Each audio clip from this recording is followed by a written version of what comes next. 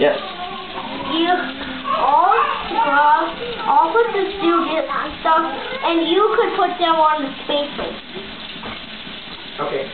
You want me to put them on the drying rack, you mean? Uh-huh. Sounds good. In a few minutes, I have to start.